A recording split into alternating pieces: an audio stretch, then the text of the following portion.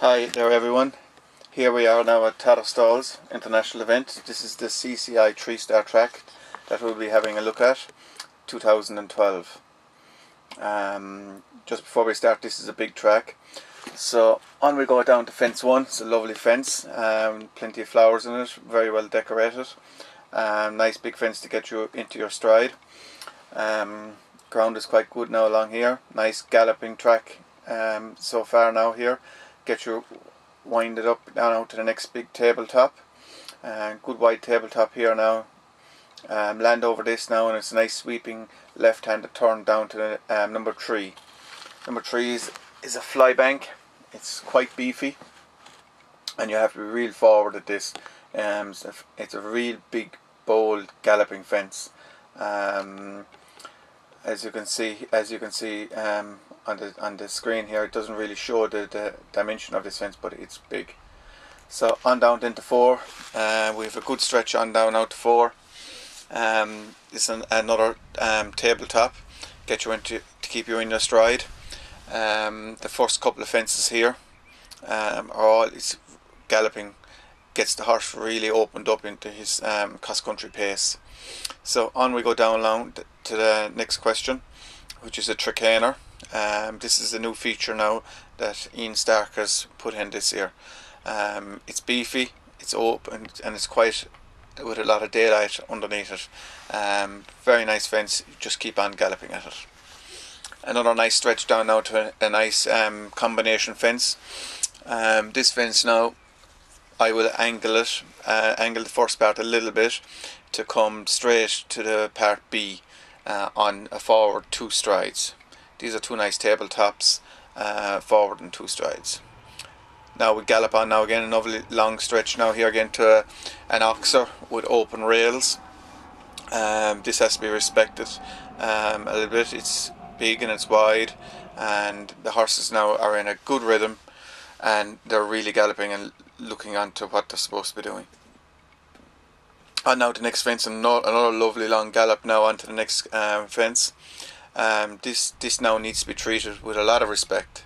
Um, it's a, an open corner, and we come up we come up along by the ditch line um, to face this, and we also have an alternative, um, which we now are looking at. Um, it's an open oxer over ditch, and this is A, and the other part is over on the other hedge line at part B. Um, this is a quite forgiving fence. It's quite standard at, this level. This is very time consuming now. This fence, the long option. Uh, the short option for this now is is um, straight in front of us. Come up here on the left hand side um, to this ditch and come by the ditch line on and the last three strides should be quite forward to this. Uh, it's a real big open corner. So on over this now we come up here to the water fence and here we have um, introduce Mark Todd from New Zealand who will explain how to jump this. Hi there, I'm here with Mike at the water fence. Uh, it comes at number nine in the um, CIC three star and uh, probably the first major question. So uh, we're going to go through this with Mike and just uh, see how we do. First, you've got your approach to the first fence off a turn, a log, hanging log with a big drop in landing on a ramps. He's landed, first stride, two, three, four, second stride.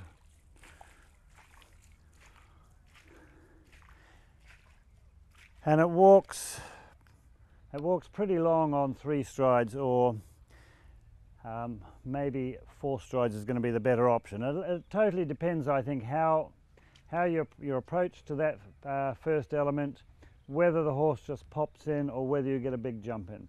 For me personally, I like the four stride option through the water because you've got to, after you've jumped in that and traveled through here, you've got to go up this big bank, land there, then one stride again, and in over a very similar fence. And sometimes, you know, the horses maybe get a little bit of a fright over that, step up there one stride, that second option, second uh, or third element of this fence, the C element, is going to be quite a difficult effort for the horses as well.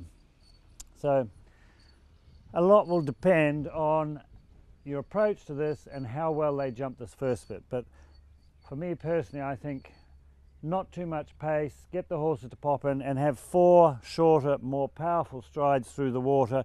So you've got a bit of energy behind you, jump up, and I think you're going to have to be quite positive to get them back in.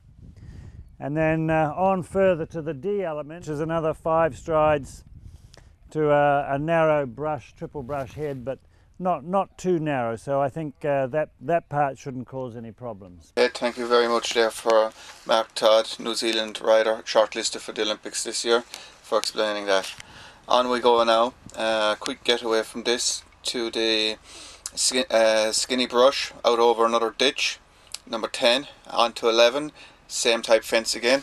Um, out over another skinny brush uh, turn right handed then out through the gate. We have a nice long gallop now down to the coal cart. These are let up fences now along here.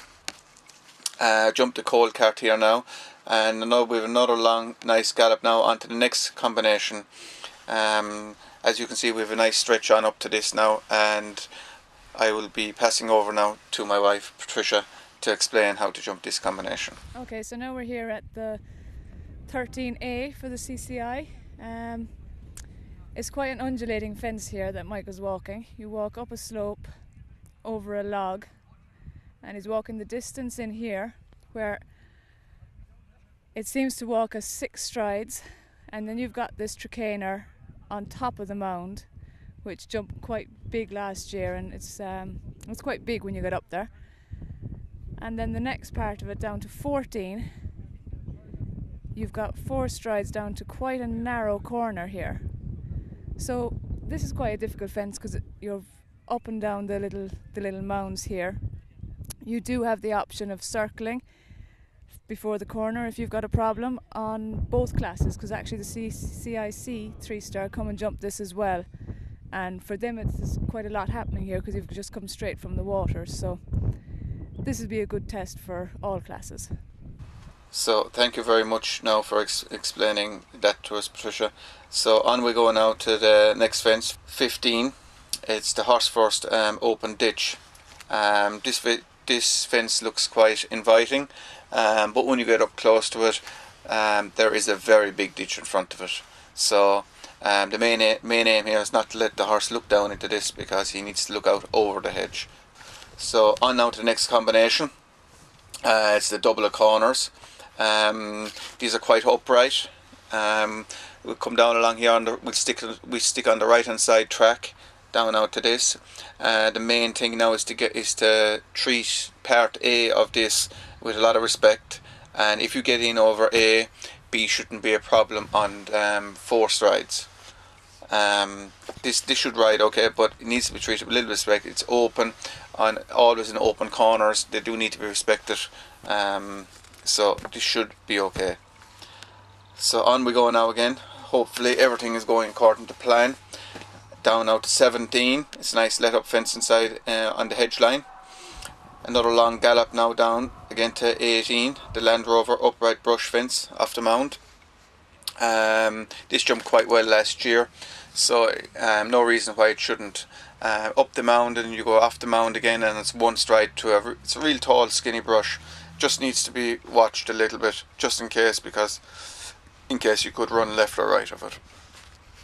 And we go down now to the next combination and this is the Richard Sheehan rail ditch and rails.